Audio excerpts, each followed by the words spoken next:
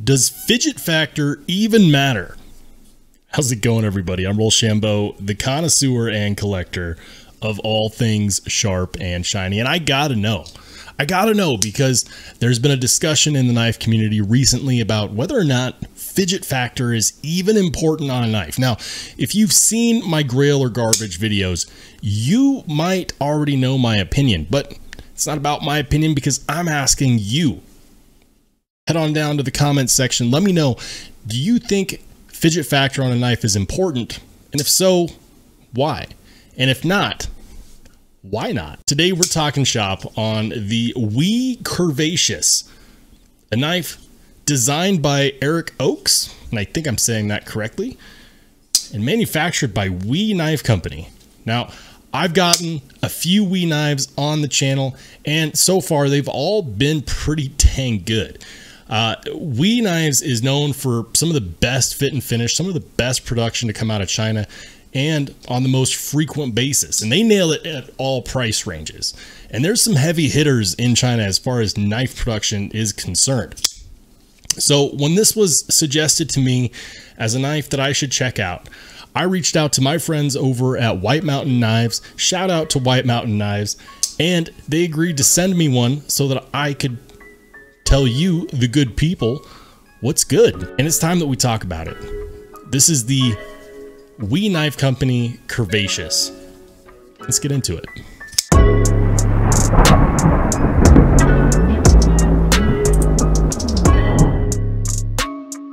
This is the WE Curvaceous. If you like this knife and you decide that you want to pick one up for yourself and any of the 10 million specs available for it, uh, feel free to use the link in the description below and use RSB10 for 10% off your order. I think it also comes with free shipping. Yeehaw. So, I requested this one for review because this is one that an audience member told me they really wanted to check out. And this is not one that I would have nor normally checked out just because of my own personal preferences. And I'll tell you why. Uh, I'm not a huge fan of the shape of the handle scales, and it has one deployment option, which is a flipper tab. Now, given the option, flipper tab only is not what I would typically go for. It's not that I hate flipper tabs. Uh, I actually do like having them, but I like having them as a secondary option. At the very least, I want thumb studs or a thumb finger deployment cutout um, or a front flipper. That works too. If you can do both a front and a rear, even better. However, when people tell me I need to check out a knife, it creates this situation where I want to find out why they're so interested in it. So let's talk about that today. Here are the specs. Titanium G10 with 20 CV on the blade, flipper tab, milled titanium pocket clip, milled titanium backspacer. You can get this in carbon fiber, and I'm willing to bet that that is the version that most people would go for.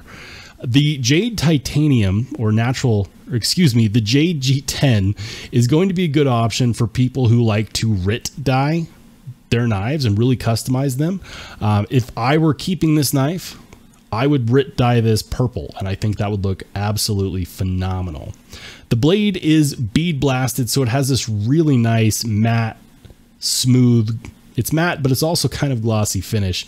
There isn't any billboarding on the show side of the blade. Hallelujah. It's like knife makers and manufacturers are starting to realize that we don't want it there. You do get the WE uh, the WE logo on that single-sided captive pivot. I'm okay with that. I like the WE knife logo. On the other side, you the pivot does have uh, it's kind of like a brass it's it's kind of like matching brass hardware okay uh, now you do get a tiny bit of billboarding you'll see the designer's name. The designer is Erich Ochs. Erich Ochs makes some really good knives. And in this one even though he didn't make this one he did design it and we delivered on that. The fit and finish on this knife is phenomenal. Something that surprised me is just how good this knife feels in the hand. And listen i love jimping. I usually prefer jimping on the spine of the blade so that when I do a saber grip, I've got good lock in. In this case, this one does not have it. And I'm actually okay with that because the rest of the ergos are so good. Uh, the way that these handle scales are shaped with that index groove right there, right before the flipper tab, uh, this is solid. I can squeeze this as hard as I want. There is no hot spots, and that flipper tab acts like a guard. The blade shape is what is called a Persian or a trailing point blade shape, and it looks good. You've got a nice deep hollow grind right here, and the knife feels like it's going to be really good at slicing. The pocket clip is a milled titanium pocket clip, and because of how it's shaped to curve up with the handle scales, but it's coming from the middle or rather the bottom, it does disappear in the hand, and you don't you don't feel it at all. You don't feel it at all. That's great.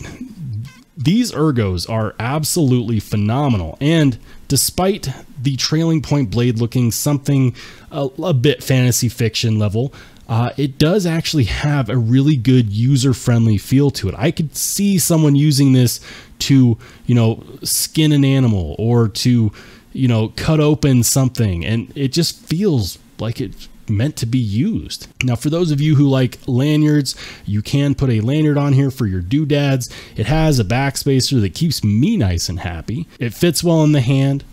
It's on the larger side, but it's not super large. When I hear curvaceous, I think of a, I, I can't help it. I, I think of a curvy lady. And this one is definitely a curvy lady of the knife world. I don't like the way that the back end of this handle scale looks, but I can live with it because it creates such a good lock in.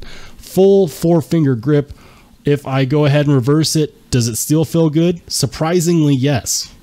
Surprisingly, yes. It's like it was meant to be put in your hand. Imagine that. Next, let's talk about the action. Now, obviously, it is running on ceramic bearings, and the action is really good. You see how smooth that is? The action is perfection, okay? Uh, they did a number on the action with this knife. And, and listen, not all ceramic bearing actions are created equal. I've felt plenty of knives that have ceramic bearings that just do not do it any kind of justice whatsoever. This one is extremely smooth. The blade has a little bit of weight to it, and it means that, you know what, it's going to glide shut. It's halfway between hydraulic and guillotine, and I love that. I think that that is phenomenal. And whether or not you like JG10, it doesn't matter because you can get this in carbon fiber and titanium.